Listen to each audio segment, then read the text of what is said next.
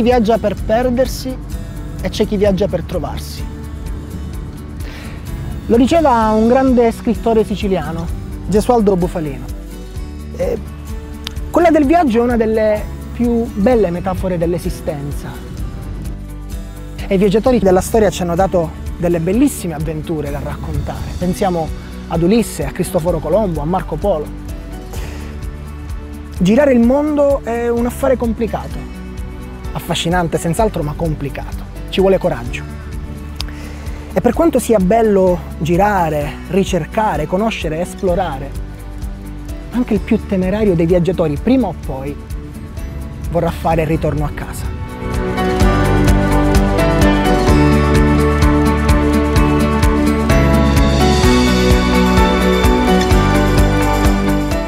Regista, conduttore, youtuber, ha girato il mondo e ovviamente non si è ancora stancato. Tra i tanti sogni che ha realizzato, comuni a tanti Peter Pan eterni come lui, ce n'è uno in particolare. Scrivere per Topolino. La definisce una missione, crescere restando piccoli. Lo conferma il suo sorriso che si spalanca quando parla dei suoi viaggi, ma anche quando parla di casa sua, della Sicilia.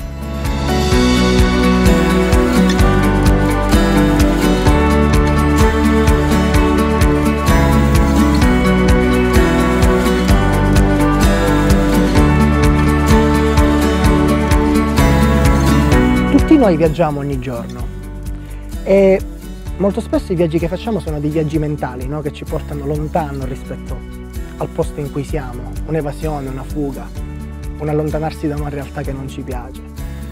C'è chi invece adora il viaggio fisico, al punto tale da farne uno stile di vita. Gabriele Salucci come ha scelto di fare del viaggio, almeno fino ad oggi, il suo modo di essere?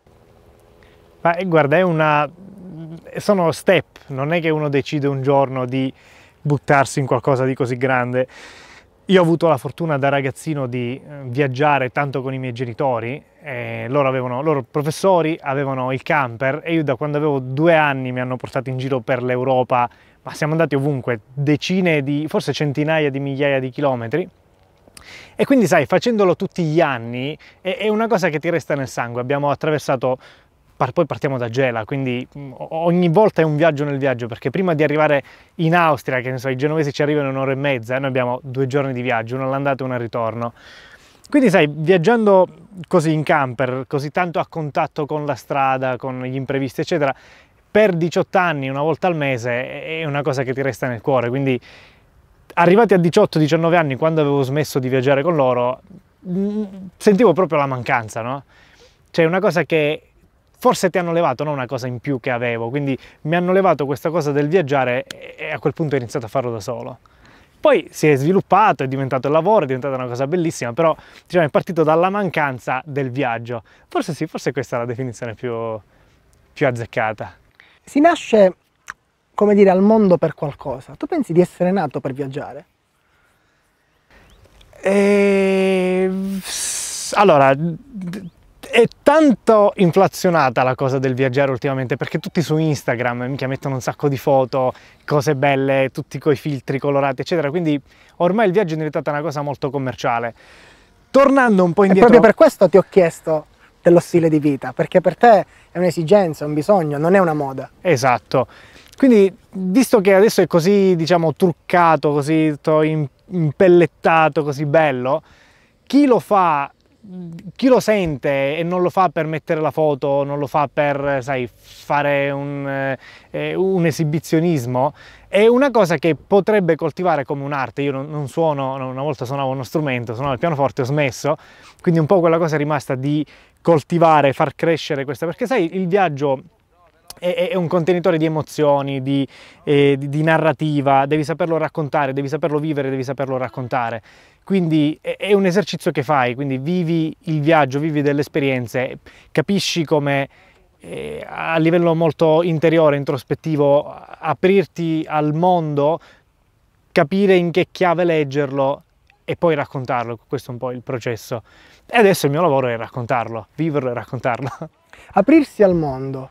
Aprirsi al mondo vuol dire aprirsi anche a tutti i dubbi, a tutte le perplessità, a tutte le paure Ti è mai capitato in uno dei tuoi tantissimi viaggi di avere paura? Sì e no. Eh, la, la, la questione è che ormai viaggiare è, alla portata di tutti. La cosa eh, c'è un'ambivalenza, no? la parte facile è arrivare nei posti, la parte difficile, che adesso è ancora più difficile perché andandoci tutti è, è, difficile capire le cose, per esempio in Thailandia che ci vanno milioni di turisti, dei decine di milioni di turisti l'anno, la gente un po' si è chiusa, ovviamente non, non ti parlano, non ti raccontano, prendo la Thailandia perché forse è l'esempio più, più facile da, da, da spiegare, è difficile entrare nel cuore delle persone, adesso che il mondo è alla portata di tutti, delle persone locali, è più facile farlo in paesi come, so, lo Sri Lanka. Mi piace tanto viaggiare lì perché entri un po' più in contatto no? più facilmente. E quindi sì, c'è questa barriera che si è creata da, a, a causa dei social, tutta questa facilità del viaggiare, tutti che viaggiano, e la difficoltà sta appunto nel capire, quindi aprirsi al mondo, gente, andare dalla gente e farla entrare nel, nel tuo, nei tuoi pensieri, nel tuo cuore, nel, anche nella tua comprensione. Quindi eh, ho, ho, dimenticato qual era la domanda, però insomma... Eh, Hai mai avuto è paura? Una, è tutto un crescendo. Hai mai avuto paura quando ecco, sei stato in viaggio? volevo arrivare lì, la paura è quella di non capire. Spesso la paura mia personale è quella che ho, adesso faccio anche viaggiare la gente, quindi e magari ora ci arriviamo, tutto il percorso di, sì. di lavoro, la paura è quella che la gente non possa capire come capire il mondo, non possa vivere il mondo appieno, cioè de- è una decommercializzare il viaggio. Non è una paura concreta, esatto. non è una paura dettata da questioni organizzative, adesso dove dormo, adesso no, cosa no, mangio, quello ormai è se mi succede proprio... qualcosa. Ormai ovunque vai c'è una soluzione logistica, se hai, non, dormi sempre da qualche parte, al massimo qualcuno ti ospita. La paura adesso è un po' più filosofica, no? capire il mondo, viaggiare nei posti giusti al momento giusto e capire cosa fare soprattutto. L'Europa tutta, manco a dirlo, eh, la Cina, lo Sri Lanka, eh, il Vietnam, ehm, l'Islanda, l'Islanda è un posto per te molto importante. Sì. Che cosa sto dimenticando? Ma Quali la, paesi la, sto dimenticando? Uno dei miei posti preferiti è la Namibia, insieme alla Mongolia. Poi ho parlato tanto di gente, è bello il rapporto umano, io però ho anche un debole per il deserto, perché stai a contatto con te stesso. C'hai questi spazi sconfinati, la, la difficoltà di dovertela e, e sapertela cavare con i tuoi mezzi, senza avere, sai, sempre gente intorno, insomma, hai un po' più di, di libertà anche interiore, no? Quindi essere solo. Se devo dire un posto, meglio solo io l'accompagnante. Nel deserto tu stai bene praticamente. sì, sì. Me viene l'infarto solo a pensare. No, guarda, una volta che sei lì è avventura pura. La Namibia hai forse il terzo o il terzo o il quarto paese per densità di abitanti, vuol dire che in un chilometro quadro ci sono due o tre persone, considerando che molti vivono in città, quindi questa media è un po' sfalsata, considera percorrere decine di centinaia e centinaia di chilometri senza che incontri anima viva però stai bene, cioè non, eh, capisci anche che non hai bisogno di chissà che cosa per innanzitutto stare bene e goderti un po' le cose, le, le piccole cose, no? un tramonto, la polvere, una cena semplice e ti, ti godi di più davvero tutto. Sei stato in tutti i continenti? Sì, forse sì. Sì, quest'anno no, vabbè, se, non, se conti l'Antartide, eh. no. Ah, vabbè, l'Antartide lasciamo perdere. Non so, alcuni lo contano, altri no, però ha levato quello sì. Ehm il posto più assurdo in cui sei stato? Scegli tu la definizione di assurdo, però poi me la spieghi. Ah, allora... Certo che trovare qualcosa di assurdo per te, vabbè, no, è, duro. Ehm, il sud-est asiatico. Ok. Allora, è lì che sei stato discorso... a fare il giro in treno? Passando da una stazione all'altra? Sì, sì, ho fatto la Transiberiana una volta, ecco, poi vedi? anche in Sri Lanka certe volte prendiamo un bel percorso in treno. Eh, il sud-est asiatico perché è forse tra i pochi posti del mondo dove la gente è totalmente diversa da te, insieme alla Cina, però non so, non c'è bisogno di andare troppo lontano, tipo Australia e Nuova Zelanda, su tutti i posti occidentali, Sud America sono molti simili a noi, il sud-est asiatico la gente ha una modalità di, di pensiero totalmente diversa. Tu ci parli, noi siamo frenetici, pensiamo subito al dove, al come, al perché, loro sono molto più relax, no? quello che succede day by day, quello che succede se lo fanno andare bene. quando tu arrivi in un posto nel sud-est asiatico e hai fretta, io spesso viaggiando per lavoro ho fretta purtroppo di dover fare determinate cose per completare dei racconti o completare un, itinerario. Quindi andare dalla gente mettere fretta perché tu occidentale vuoi una cosa subito, la vuoi in quel modo e la vuoi lineare, lì non funziona, lì devi andare con la dovuta calma e se le condizioni astrali, se loro vogliono, se la sentono, ti rispondono in un determinato modo. Quindi spesso ti scontri con un muro, eh, diciamo una barriera culturale, proprio di, di, di, di primo approccio, non solo di, lingua, di, capirsi. E, e, sì, forse il sud-est asiatico è il posto più bizzarro. La sfida viaggiare. per te in un viaggio quindi è quella di entrare in empatia con la gente che incontri, col posto che frequenti. È quella la vera sfida che ti poni. Sì, quella è una delle cose più difficili. Eh, perché insomma il, il, mondo è tutto simile a livello paesaggistico, no? c'è la tundra, c'è il deserto, c'è la giungla, puoi andare in tutto il mondo, è simile, i paesaggi cambiano, ci sono tante cose belle da vedere. La vera essenza di un posto è la cultura che, che lo compone, no? che, che lo costruisce, che lo crea. E quindi se non capisci determinate cose di una determinata zona, sei un alieno, sei estraneo. Adesso ti chiedo una cosa che non ti piacerà perché non riuscirai a darmi una risposta, ma ci provo. Il posto più bello e il posto più brutto in cui sei stato?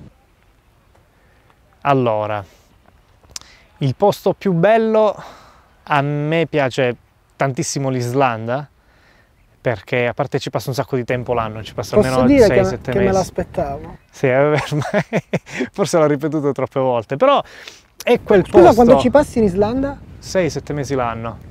Ora sto cercando di diminuire perché ho eh, bisogno anche di vedere altre cose, però sì, è un posto che conosco tanto bene, mi piace perché hai la natura, è, è una decina d'anni che viaggio in Islanda, ho visto l'evolversi di questo posto, prima nel 2012, nel 2011 l'ho attraversata in bicicletta da solo, ho fatto tutto il giro. Cosa che fanno tutti nella vita. Esatto.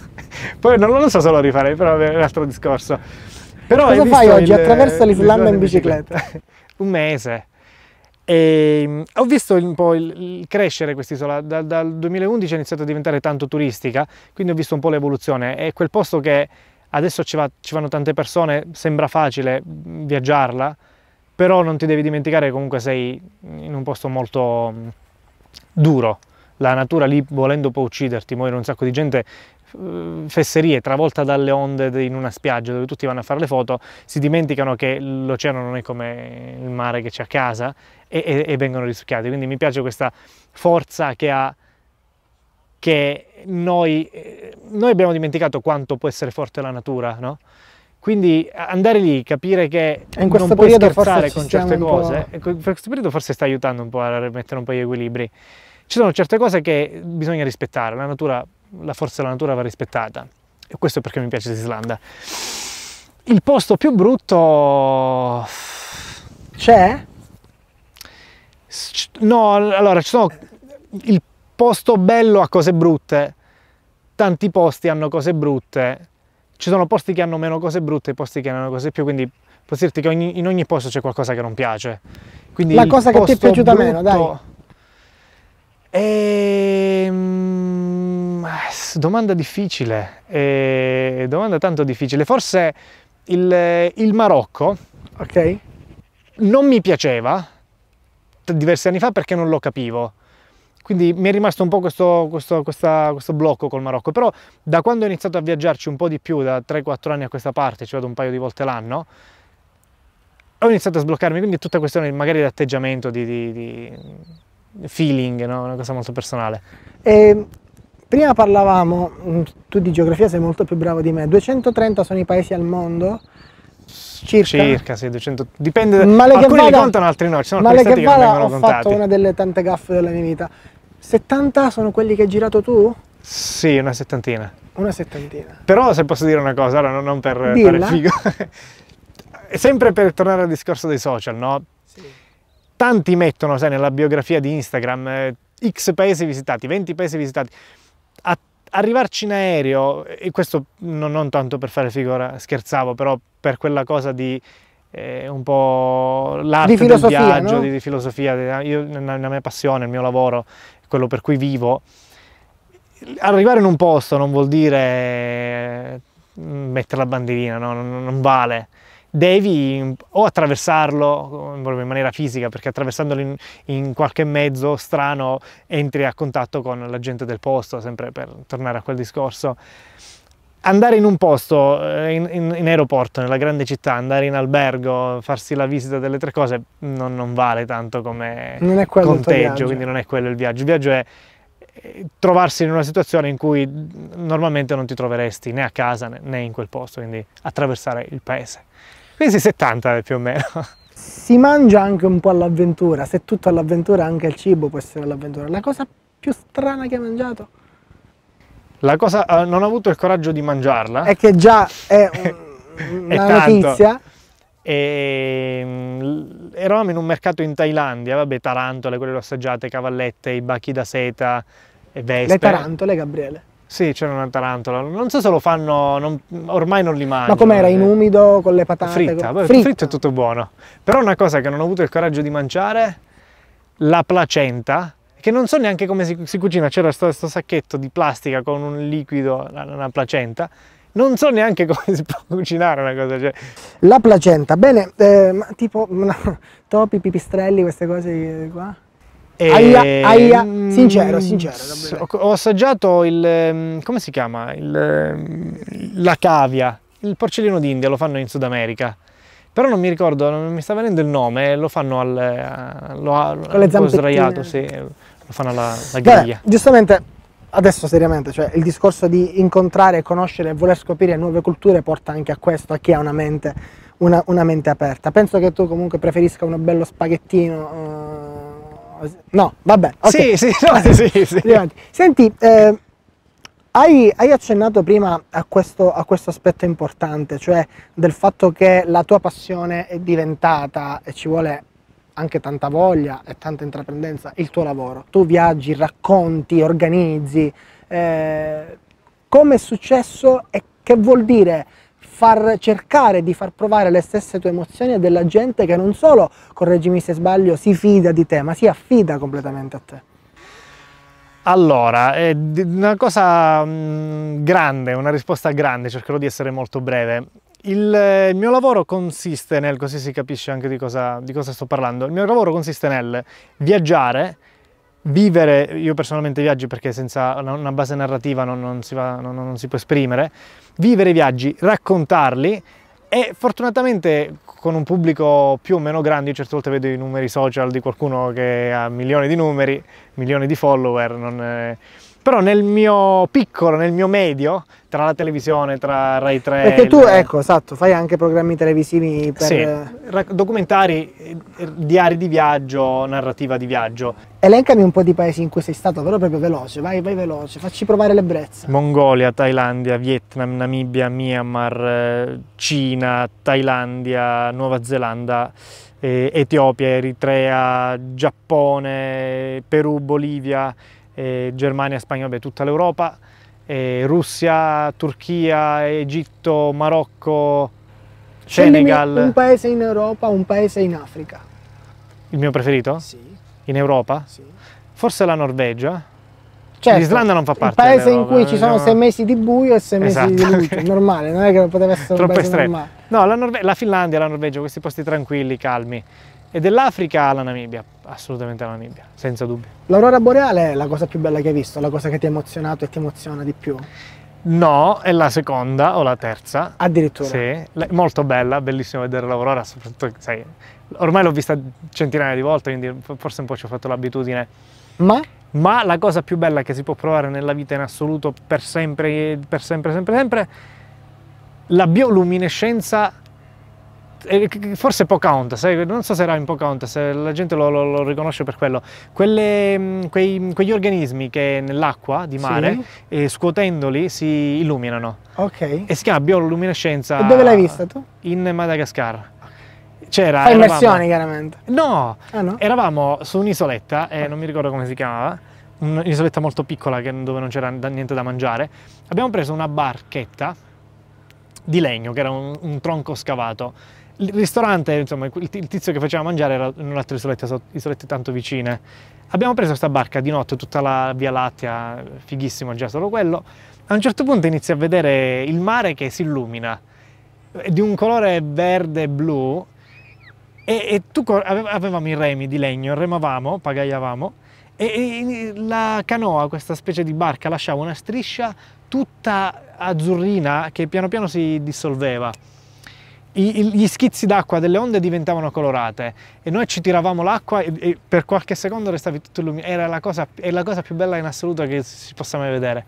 E si vede dalla luce dei tuoi sì. occhi. E la seconda? E la seconda l'Aurora, sì. Avevi detto che era seconda Secondo terza, però Allora, completiamo il podio. Più. Allora, prima la bioluminescenza, seconda un'aurora fatta bene, è una cosa certo. bella. Terzo, mm, guidare in Namibia, penso. Perché? Guidare in Namibia è centinaia di chilometri di deserto, vedi il Namib, sei attorno alla, sei, stai, seguendo la, la, Skeleton Coast, vedi tutte queste, sei, sai le storie delle navi incagliate, guidi e ti senti proprio libero, quindi uno, due, tre bioluminescenza, Aurora e guidare in Namibia. Senti, io e te ci conosciamo da tanti anni, no? Non è che possiamo fare finta che non ci conosciamo, insomma. Purtroppo per fortuna. Ah, per me per per, fortuna, eh, per, te non lo so, siamo ancora in tempo a tagliare l'intervista, insomma. E mi ha sempre colpito comunque il fatto che nonostante tu abbia girato e continui a girare il mondo, ti senta ancora molto legato alla tua terra. Questo posto è stato uno dei mm, diciamo, è stato un posto protagonista anche di uno dei tuoi ultimi progetti fatti in Sicilia qualche anno fa, no? Già, è vero. Che cosa rappresenta per te Gela? È bello perché vedi un po' tutta la differenza che c'è in quest'area, no? Vedi questa parte più o meno selvaggia, un po' vedi come si sviluppa la, la gente in spiaggia adesso, e poi c'è Montelungo, la città e il petrolchimico, quindi tutte le cose belle e, e, brutte che però caratterizzano la nostra quotidianità. Io sono nato e cresciuto a Gelo, ho vissuto qua per eh, due terzi della mia vita, ora sono andato fuori per fare le mie esperienze, prima o poi magari ritornerò, però è, è, è bello vedere qua dall'alto mm, tutta la realtà che, che c'è, non solo sai, il paesaggio, qua vedi mm, forse la storia di Gela, no? dall'antichità a quello che è stato fatto negli anni 60-70 a oggi che stiamo andando avanti. Se ti hai detto prima o poi ritornerò. E chi viaggia e Sogna poi di tornare anche, a casa? Sì, e tornare a casa è sempre bello. È importante fare esperienza fuori per magari portare qualcosa di buono a Gela. Ora non so se vivrò qua fisicamente perché eh, ancora non so dove vivere, non so se vi... io al momento sono in Spagna, non so se sarò lì, se tornerò in Italia, eccetera però tornare a vivere anche, sai, qualche bel progetto, qualche bella idea, supportare o magari venire a vivere qua, sai, quando sarò un po' più grande che avrò smesso di viaggiare, quindi tornare a casa fa bene, viaggiare fa bene e tornare dopo aver viaggiato. Hai parlato di un progetto che ti potrebbe portare qui? Ho fatto diversi progetti, ho curato diversi progetti per la Sicilia, per eh, insomma, il territorio siciliano, anche Gela, L'ultimo è stato due o tre, tre anni, fa con eh, un... Il giro in moto? Eh, il giro in moto, sì, abbiamo raccontato con un amico mo molto spontaneo, non era commissionato da nessuna agenzia, da nessuna televisione, niente. E così molto spontaneamente la Sicilia, abbiamo girato ogni giorno, ogni giorno facevo un video da 10 minuti, è stato un po' un esercizio narrativo. E, e un'altra volta per un eh, famoso, non facciamo nomi, un famoso tour operator, eh, un aggregatore di servizi, abbiamo girato la Sicilia raccontando le parti più belle, ho voluto anche inserire Gela. E, e tra l'altro quello a cui ti riferivi tu era proprio qua, abbiamo fatto vedere come si fa la colazione con i cannoli, qui a Gela era un tour in prima persona dove si vedevano solo le mani, quindi come se lo spettatore stesse vivendo il percorso. E abbiamo raccontato un po' la Sicilia, c'era anche Gela, proprio vista da qua. Cosa salvi della Sicilia, cosa invece proprio non ti va giù? Eh, allora, secondo me una cosa che dovrebbe tanto migliorare è la logistica, i, i trasporti. Fesseria, sono stato eh, così una vacanza di, di, piacere con amici di, di Gela, di, amici delle superiori, siamo andati a Favignana la strada è neanche nei posti più remoti e, e più in sviluppo ci sono strade del genere, perché bene o male in, quei, in, quelle zone sai che sono strade di campagna, la gente ci lavora, magari passano col carretto, passano con, eh, per, per, lavorare, ma qui la strada statale la gente la usa tutti i giorni in maniera no, per, lavoro, gente che si sposta, camione, però non, non c'è un servizio di, un servizio, è come se non ci fossero le strade. Tre ore e mezza, tre ore per andare a mm, fare mezza Sicilia, per fare da una parte all'altra ce ne vogliono sei, come se non ci fossero le strade. Un turista che viene qua, è importante il turismo per far sviluppare il posto, è importante sia per l'economia che per lo sviluppo anche, come dire, psicologico delle persone, sai che vivi in un posto apprezzato. Io qualche anno fa, durante uno di questi progetti, ero a Selinunte, se non sbaglio, due ragazze francesi con lo zaino sotto il sole del mezzogiorno a fare l'autostop, non perché stavano girando la Sicilia in autostop, ma perché non c'era più l'autobus che tornava a Palermo perché io, ho detto, io le ho accompagnate, le, le, le ragazze salitevi, vi do un passaggio, mi, sono, vi dico, mi, mi, scuso, mi dispiace a nome di tutti, di quasi tutti, perché evidentemente qualcuno non, non vuole, però non è giusto che ci sia una cosa del genere, mi sono un po' mortificato, quindi la rete stradale sembra una fesseria, ma è tra le cose più importanti che dovrebbero essere sistemate. Come ha cambiato il coronavirus eh, la vita di un viaggiatore? fatto, forse un po' mi ha fatto bene, ha fatto bene a chi viaggia, al di là di tutte vabbè, le cose tristi, risvolti negativi, perdita di occasioni, perdita di viaggi, eh, molti amici hanno avuto brutte storie, insomma, al di là di tutto quello, però parlando puramente di viaggio, di viaggiatori, eh, fa bene anche fermarsi, io non avevo l'opportunità, sono, sono nei 30 anni, sono giovane, ho voglia di fare tutto, ho voglia di fare troppo, quindi e sono sempre carico di progetti. Ti invito un po' a riconsiderare. No? Sì, fermarti un attimo, capire quello che hai fatto, quello che devi fare, riorganizzarti, fa bene anche stare a casa. E quindi uno, uno stop più o meno forzato ti permette di, insomma, sai, un, un amico mio una volta diceva, mm, gliel'avranno detto, se il boscaiolo ogni tanto non si ferma ad affilare l'ascia, è inutile anche che continua, quindi vale anche per, per chi viaggia, per chi fa questa vita. E a proposito di progetti in itinere, idee in testa, il primo che vorrei fare quando sarà possibile qual è? Ah beh, innanzitutto tornare a viaggiare con eh, i ragazzi che ci seguono, con eh, chi ha creduto nel progetto. Il progetto di cui parlavo prima, quello narrativo, si chiama Sto Grand Tour. Il sottotitolo è la Travel Boom Factory perché è questa cosa esplosiva di è, è più un progetto comune, un mood di quelli che, a cui piace vivere come viviamo noi e che vogliono partecipare a queste cose. Quindi la prima cosa è ritornare in pista facendo viaggi di, di questo tipo, portare un po' di allegria a, a, tutti i ragazzi che credono nel progetto. Progetti miei personali, eh, sto cercando di creare una serie di documentari in viaggio, reportage, eh, che ancora sono work in progress, però sì, sia il lato narrativo che quello puramente logistico di, di, di viaggio. Continueranno gli episodi del Kilimangiaro, continuerà la, la parte insomma, televisiva, però anche un progetto personale di, di reportage eh, attorno al mondo. Scegliere dinanzi ad un repertorio così ampio non è semplice. Qual è la fotografia della tua vita? Allora, è, è facile, sì, perché ah, ce l'ho abbastanza chiara. E ho avuto una bellissima infanzia, quindi questi ricordi delle vacanze con la famiglia che comunque mi hanno formato, no? E sai, sto camper vecchio, in giro per l'Europa, immagino, no? Io ragazzino, alto, ora non so quanto alto, più, Vabbè, Gabriele, sull'altezza diciamo che... Felice, con una bella famiglia a fare cose belle e mi hanno dato la possibilità di fare tutto questo, quindi sì, un camper in giro per, per l'Europa. Che poi tutto è partito da lì, no? Sì. Partivamo, la cosa bella sai qual era anche, ora ritorno un po' a quella domanda, facevamo tanta strada, partivamo da Gela e poi andavamo fino a Caponord, una roba di 5-6 mila chilometri all'andata e altrettante al ritorno. Una passeggiata di salute. E, e, la cosa bella, vedi la differenza, è una cosa che mi ha formato tanto, partire da qua, da Gela, che uno dei, purtroppo, uno degli ultimi posti d'Italia per tante cose, con un potenziale, vabbè, la sappiamo tutti la storia. Enorme. Però per molte cose organizzative, logistiche, partivamo da qua e attraversavamo tutto, vedendo tutte le differenze dei vari posti. questa è una cosa che mi ha, mi ha formato tanto. E magari un giorno potrò dire di partire da un posto che non ha niente da invidiare alle cose che vedevo al nord.